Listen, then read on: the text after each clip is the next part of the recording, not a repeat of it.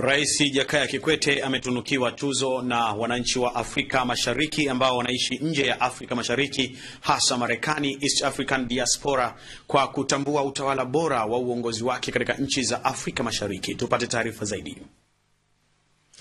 Tuzo hiyo imetolewa na Baraza la Biashara la Wanaafrika Mashariki wanaoishi nje ya Afrika Mashariki, East Africa Diaspora Business Council, ambalo linaunganisha wafanyabiashara wa nchi za Afrika Mashariki wanaoishi nje ya Afrika Mashariki.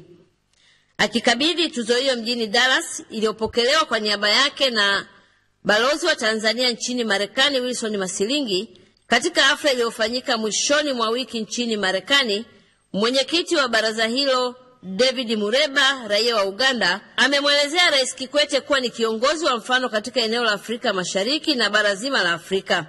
Tuzo hiyo ni ya tatu kutolewa kwa Rais Kikwete katika siku za karibuni. Maana ya tuzo ambayo Mheshimiwa Rais wetu wa Jamhuri ya Muungano wa Tanzania Dr. Jakaya Kikwete aliyopewa na e, wananchi watokana na Jumuiya ya Afrika Mashariki East African Diaspora Business Council ambayo inaongozwa na Bwana Daudi Mureba kutoka Uganda akishirikiana na viongozi wenzake, Tanzania akiongozwa na kiongozi wa wana diaspora wa Tanzania Bwana Kazora, waliandaa afra kwa ajili ya Mheshimiwa Rais kutambua mchango wake katika uongozi bora katika Jumuiya ya Afrika Mashariki na tuzo mahususi iliandaliwa ili akabidhiwe yeye.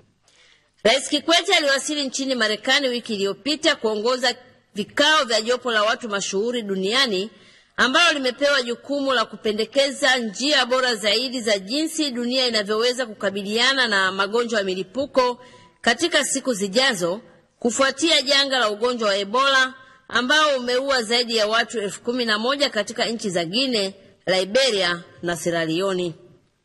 Jopo hilo lenye wajumbe sita wakiongozwa na Rais Kikwete liliteuliwa Aprili mwaka huu na Katibu Mkuu wa Umoja wa Mataifa UN Mheshimiwa Ban Ki-moon ambaye amewataka jopo hilo kuwasilisha ripoti yao kwake Disemba mwaka huu.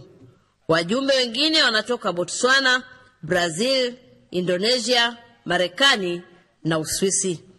Faraja Kiongole, Dar es Salaam.